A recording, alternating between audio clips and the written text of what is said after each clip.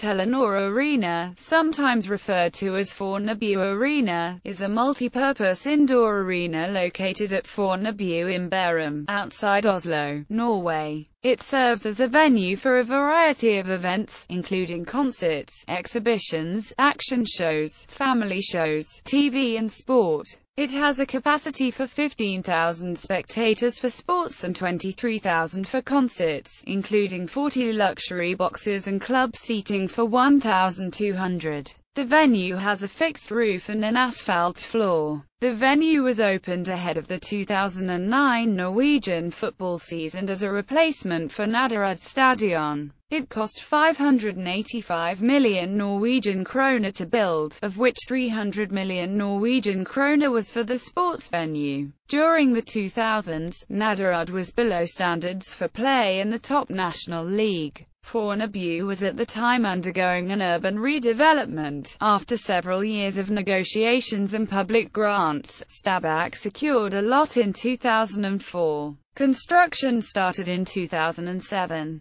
In 2010, a disagreement arose between the club and venue owner KJLCHR Ulrichsen, with the latter demanding that the team leave the venue to allow for more event revenue. Telenor Arena has hosted the Eurovision Song Contest 2010, as well as concerts by artists and bands of international fame, such as Muse. Foo Fighters, Roger Waters, Rihanna, Lady Gaga, Beyoncé, Jay-Z, Kanye West, Metallica, AC/DC, Black Sabbath, The Rolling Stones. Telenor holds the naming rights. History Planning Stabæk traditionally has played their home games at Nadderud Stadion, a municipal multi-purpose stadium at Bekkestua. Following the club's rapid ascent from lower divisions to the top league during the first half of the 1990s, Nadderud became in need of upgrades, resulting in a new main grandstand opening in 1996.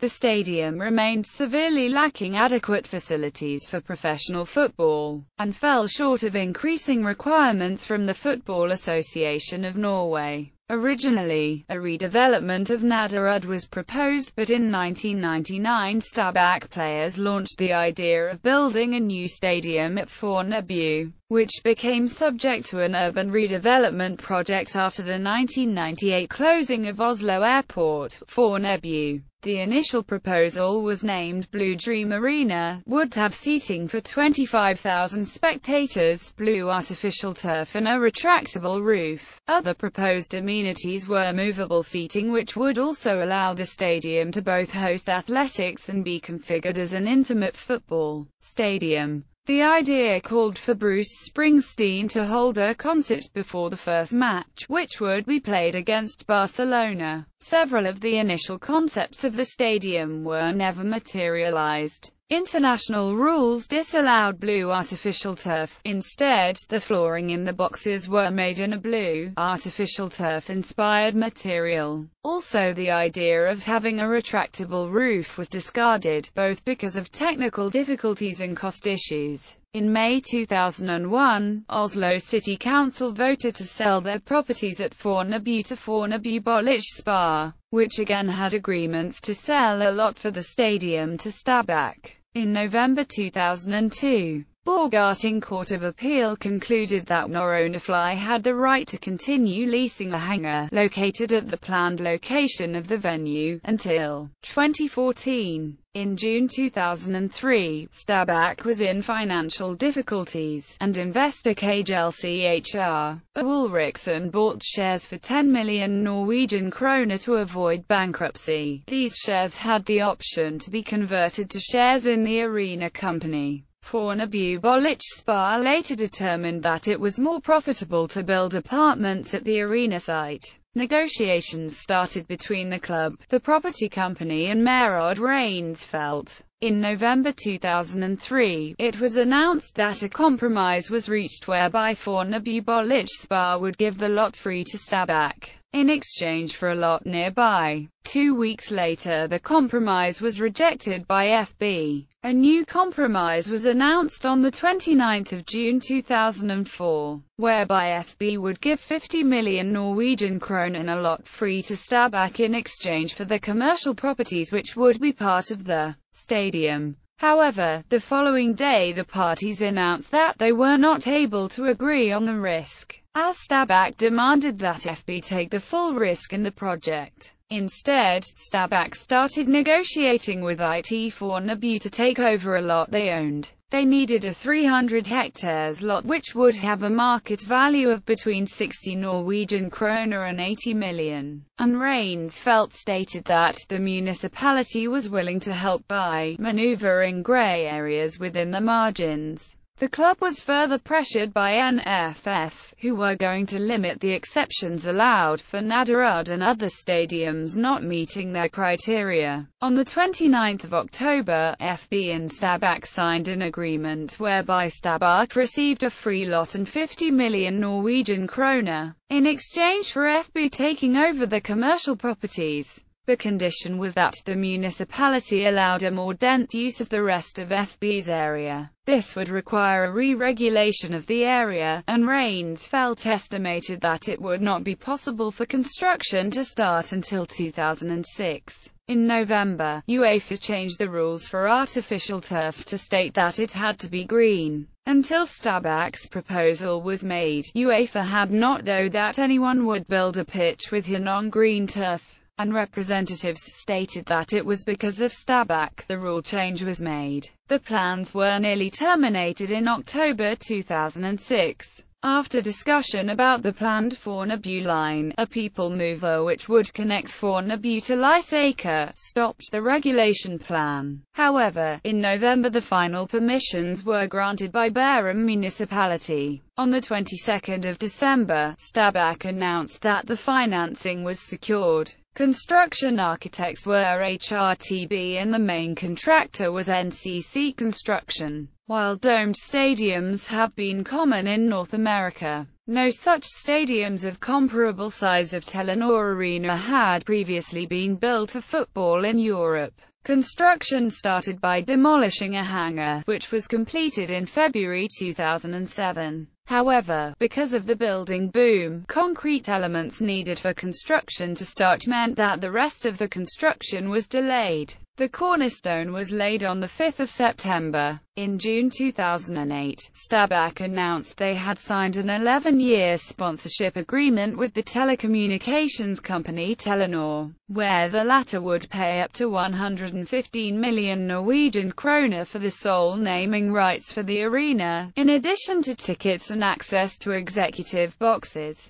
In March 2009, the retailing property was sold from Scandinavian Property Development to KLP Eiendom. The plans called for 20 to 25 football games, 4 to 8 concerts, 3 to 4 large sports events and 2 other large events and conventions per year. Because of larger seating capacity, an all-seating arrangement, higher attendance and VIP facilities, Stabæk is able to generate three times the matchday revenue from Telenor Arena as Nadderud. The stadium is plagued with traffic problems on match days, with large crews hired to create temporary barriers to direct the crowds. The bus stops closest to the venue are closed, and a large number of police officers have to direct the traffic. These are costs which have to be carried by the arena company, and contrasts to matches at the nearly twice as large Ullevål, where no such measures are necessary. Football versus event controversy in October 2009. Ten individuals bought the operation company of the club and signed a 40-year lease for the use of the arena for Stabæk's home matches, as well as the right to use the facility for certain other activities. This contract has a revenue of 9 million Norwegian kroner per year. In 2009, Stabæk Holding had a deficit of 66.1 million Norwegian kroner, while Stabæk Football lost 23.6 million Norwegian kroner. To keep the operating company running, Ulrichsen increased the company's share capital by 73 million Norwegian kroner from late 2009 through late 2010. On 4 November 2010, Stabæk Holding stated that they were near a bankruptcy, and that they intended to throw out Stabæk as a tenant, remove the turf and instead use the venue exclusively for events. Chair Diedrich Schnittler and Stabæk Holding stated that the business model was not sustainable. The football schedule was not made until early in the year, while in the event business, bookings were common one to two years in advance. It was therefore difficult to secure lucrative events as large parts of the year had to be held in reserve in case the venue was needed for yet to be scheduled matches. The holding company stated that they might have to file for bankruptcy. Stabæk Football stated that they had a 40-year contract to use the venue. Stabæk's director of sports, Inge André Olsen, stated that returning to Nadderud was not an option, as it had too little capacity and insufficient facilities. Should Nadderud be used, it would have to be rebuilt, with new grandstands under roofs, VIP seating, a new parking house and new change room, which would cost 100 million Norwegian kroner. Because of building permits, construction would take two to three years. Nadderud is also not approved to host games in the Premier League, so Stabæk would have to either play their games at Ullevål Stadion in Oslo or Marienlyst Stadion in Drammen. Telenor stated that if Stabæk moved they would have to renegotiate the naming rights agreement for the arena, as the value of the contract was largely based on the naming exposure of Stabæk playing in the Premier League. The company also stated that they had difficulty understanding the argumentation from the holding company, as there was no football being played October and March, but that the venue, which has the largest capacity for indoor concerts in the Oslo area, failed to attract large artists, such as Rihanna, during the winter months. On 4 December, Stabæk Football stated that they were willing to move their training, Norwegian Football Cup and UEFA matches to either Nadderud or Ullevål, as a compromise to free up more available time in the arena. This was rejected by NFF, who stated that the licensing rules required that a club's main arena be available for all League, Cup and UEFA matches, and that a general exemption would not be given for the Cup. In mid-December, Stabæk Football started the process of a judicial registration of the right to lease the venue, which was permitted according to the contract. This would grant Stabæk Football the right to continue to lease the venue even if the holding company went bankrupt. A preliminary injunction for this was granted by Asker and Bærum District Court. In a 16 December statement, Three Stabæk football officials said that they suspected that Ulrichsen's plan all along was to convert the venue to a pure convention center, and that the use as a football venue was a decoy to get a free lot worth up to 200 million Norwegian kroner plus grants worth 50 million Norwegian kroner. The book value of the venue was 303 million Norwegian kroner at the end of 2010, although a statement from the district court stated that the value of the venue was significantly lower than that. The bank DNB Nor held at the time a mortgage with security in the property worth 260 million Norwegian kroner, while Ulrichsen through his investment company held a mortgage worth 60.1 million Norwegian kroner. On 7 January 2011, the parts announced that they had reached a compromise. Stabæk would remain at Telenor Arena for at least the 2011 season. In addition, the club held an option to take over the responsibility for events at the venue. Stabæk Football had until 30 June to accept the option, which would allow the club to remain at the venue on a permanent basis. This would require them to invest 20 million Norwegian kroner in an event administration, which would increase event revenue but at the same time move the risk from Stabæk Holding to Stabæk Football. If the club declined the option, they would not be allowed to play at the venue from the 2012 season. On 30 June, Stabæk announced that they would not fulfill the option to continue renting the stadium. The necessary 35 million Norwegian kroner would entail a risk the club was not willing to take.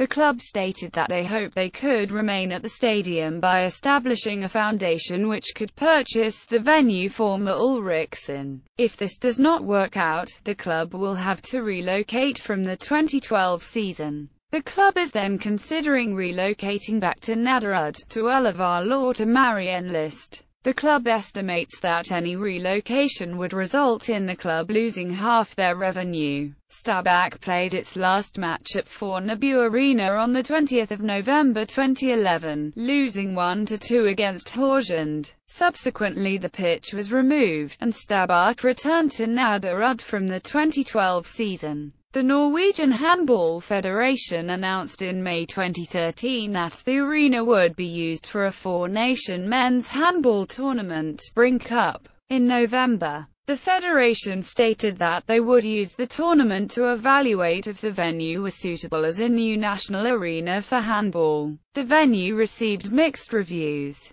The tournament saw low attendance and Danish commentator Bent Nygaard criticized the arena for being too large. The federation was happy with the arena, and stated that were planning on using it for finals in their bid for future World and European Handball Championships. Telenor Arena is part of the Oslo bid for the 2022 Winter Olympics in which it has been proposed used for short track speed skating and figure skating facilities. The venue is located at Fornebu, a peninsula in Bærum, located 10 kilometers from the city center of Oslo. The venue is owned and operated by Fornebu Arenas, which is again owned by Stabæk Holding, which also owns Stabæk Fotball. Telenor, Norway's largest telecommunications company, holds the naming rights for the stadium. The venue has seating for 15,000 spectators for football, and 23,000 for concerts.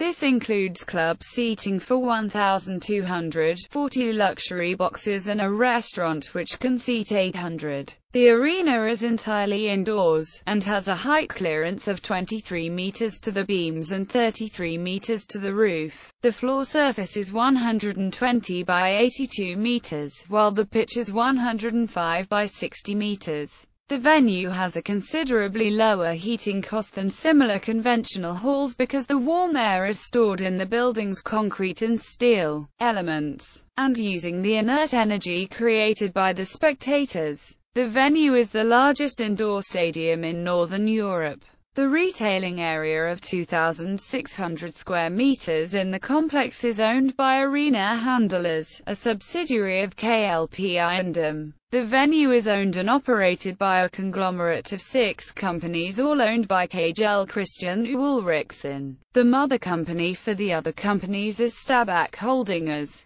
Fornebu AS is the actual owner of the real estate. Fornebu Eventers is responsible for renting out the venue for concerts, conventions and other non-sporting events. FA Lies partially leases and partially owns installed facilities in the venue. Say Meyer Drift Widerøe Vereninger. One as is the management company for the property as a whole. Arena Idrettis hold the rental guarantee given to Fornebu Arena by the renters of the commercial properties Say Meyer Drift Widerøe Vereninger. 1. Transport Ruter Bus 31 is a high-frequency service which runs from the city centre of Oslo via Lysaker station to Fornebu. During regular schedule it stops just outside the stadium, however, on match days it stops further away because of traffic. Lysaker station is served by both the Oslo commuter rail and selected intercity and regional trains.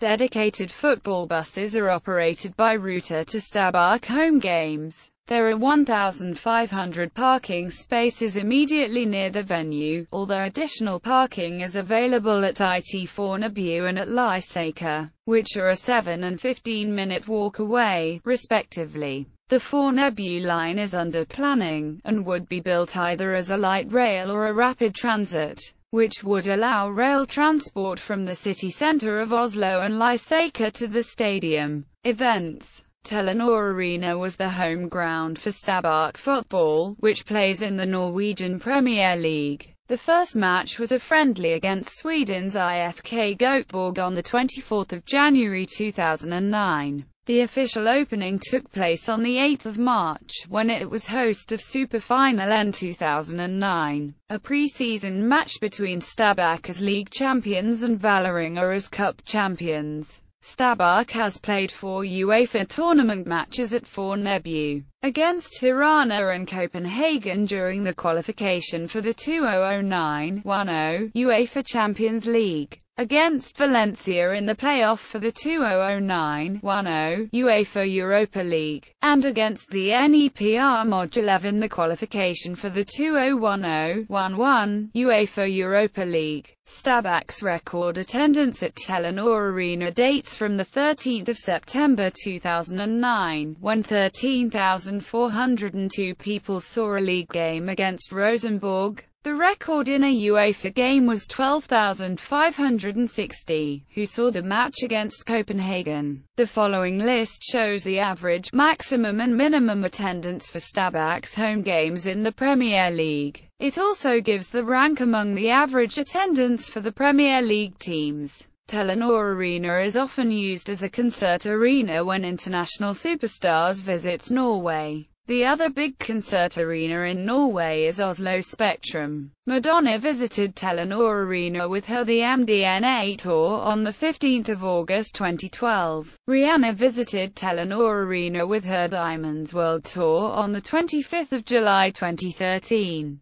The arena when filled could get very hot and the organizers were criticized for the water priced at 44 Norwegian kroner for a cup with water. Justin Bieber visited Norway and Telenor Arena with his Believe Tour 16, 17 and 18 April 2013. The three concerts were all full-seated. Other major concerts held at the venue include AC/DC with their Black Ice World Tour and Tina Turner with her 50th anniversary tour in 2009. Andrea Bocelli in 2010, Metallica for two nights on their World Magnetic Tour in 2010, and Iron Maiden on the Final Frontier World Tour in 2011. Kylie Minogue will perform in 2015 as part of her Kiss Me Once tour. Telenor Arena was the host of the Eurovision Song Contest 2010 on 25, 27 and 29 May 2010. During the preceding weeks, Stabæk had to play their home matches at Ullevål Stadion in Oslo. Other events at the venue include the Solberg Extreme Motor Show, Oslo International Horse Show and Sensation. Bibliography Jensen, Ingebrigt Steen, Altid, Uansett. Omklokskarpe og galskape sommar til for skarpe eventer. Bærum, Dynamo Forlag. ISBN 9788280711977.